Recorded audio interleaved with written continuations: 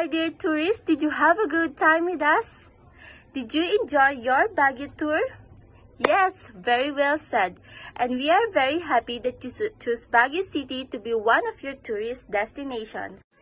I am very lucky and happy to have you as my tourist, and it's my pleasure that you had me as your tour guide. Tourists, once again, thank you so much. Goodbyes are not the end, and I'm looking forward to seeing you again on your next visit to the summer capital of the Philippines, Baguio City. On behalf of Travelcations, once again, my name is Leah, always at your service. I know that you want more, right? Yes, I hope so. And there are still a lot of activities and destinations to visit here in the City of Pines, such as if you are looking for an adventurous fun, why not try the experience the treetop adventure at Camp John Hay?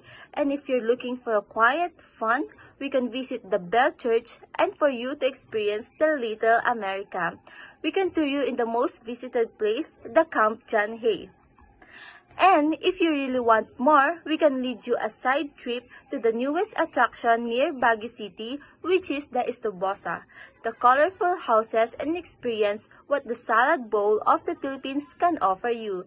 These are located in La Trinidad. As the local says, it's all up here in Baguio, isn't it?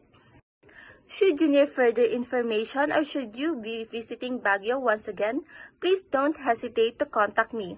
I will give you my business card. You can find all my contact details there, as well as my social media accounts and company website, which you may browse if you want to know more about us and our company as well. Also, please fill out the evaluation sheet completely as our company values your comments and suggestions for any improvements. Thank you once again and we wish you a happy and blessed trip on your way back home. Bye!